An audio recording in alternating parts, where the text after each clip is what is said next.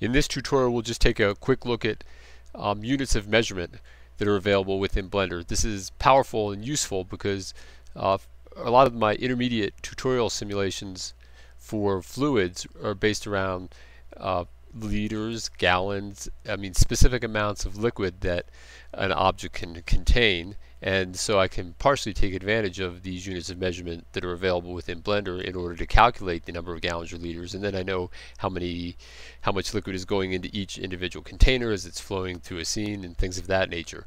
And so eh, it's a really important tool. But you'll notice in order to be able to display things like that you have to first the object has to be in edit mode. When I go back into object mode it disappears alright so when I'm in edit mode uh, say I'm in object mode and I have this menu N up here and I look around well there's no real way to access this information in here unless you're in edit mode. So when you go into edit mode then you have available to you where is it? It's up here somewhere.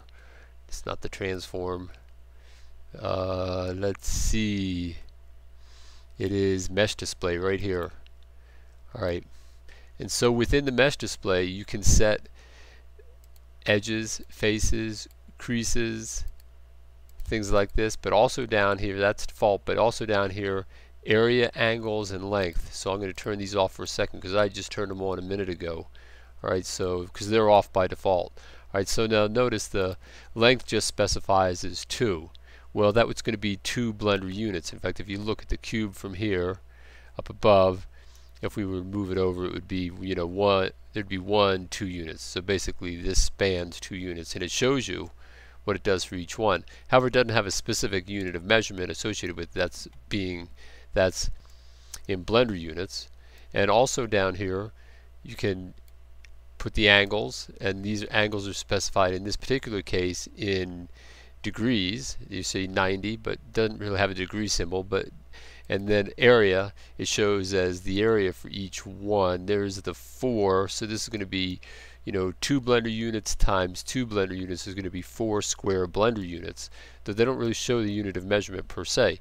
So to make it a little more precise and to uh, work in you know SI units which I recommend for uh, most of my simulations and for those of you who are following these tutorials you have to come up here to this button right here which is the scene button.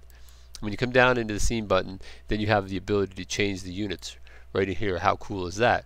So let's change it into metric units.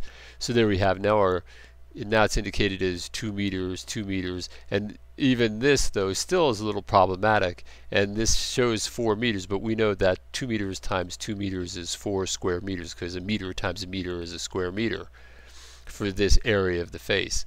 And if we were to calculate the volume of the cube it'd be 2 meters in length and 2 meters in width would be 4 square meters and times 2 meters in height would be 8 cubic meters would represent the volume of the cube. And I'm quite sure the reason they don't do put the squared term in here for 4 square meters is because if you take a look at my math programs that I wrote in C sharp, the formatting of the exponential terms is actually quite tricky. It's a lot of just little nitpicky formatting to actually make it work right. This, there's no simple way to just automatically keep it in there because of the length of the characters and uh, you know the the length of the unit of measurement if this was meters versus uh, millimeters or something like that. But in any case, um, it's in metric units. And look we even have options for degrees versus radians. So if we click that this theoretically is this going to change to 1.57 radians here is it? I guess they don't do that. They keep it in degrees I guess in, this, in the displays of these of these angles. So that doesn't apply in that case.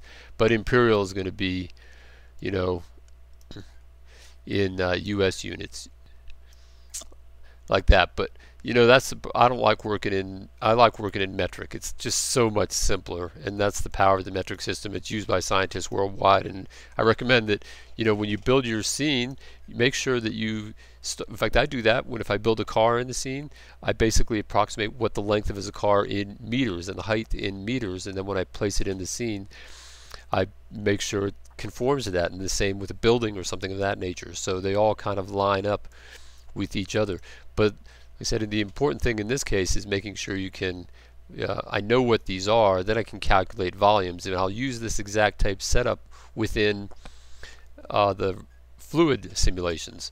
So I know how much volume of liquid I'm transferring from one to another to make sure it's working right. And there's uh, there's other things you might want to look at in here. You can change the, you can get your vector normals if you want to take a look at that. There they are here. If you take a look closely, there's the normal. Now normally that's a normal vector. Normally that should have an arrow at the tip of it, and you can change the size of it as well. Just uh, if you're looking for reference for the planes of your or for the faces of your object. And um, all right, well, so just wanted to point that out because we'll be using them, and uh, I'll get into that more in the fluid simulations. All right, I'll see you in the next lesson.